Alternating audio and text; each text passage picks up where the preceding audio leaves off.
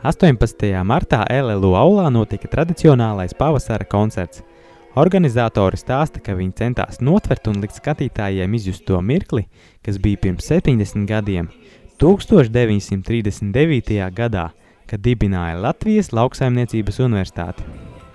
Pasākumā piedalījās LLU pašdarbības kolektīvi, teju kopas kalbe, tautas deju ansamblis kalve, vīru koris ozols un sieviešu koris liepa. Koncertā uzstājās arī Jelgavas studentu teātris un studentu orķestris Raita Ašmaņa vadībā. Pirmo reizi uzstājās tautas deju ansambļa Kalve vidējās paudzes dejotāji – Kalves zelta smiltis.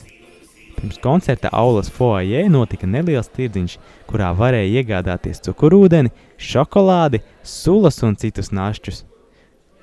Šis ir universitātes 70. jubilejas gads, tādēļ koncerta programmas avīzes nobeiguma rakstā teikts – Mans laimīgais skaitlis ir septiņi. Izrādās tas ir pats harmoniskākais skaitlis.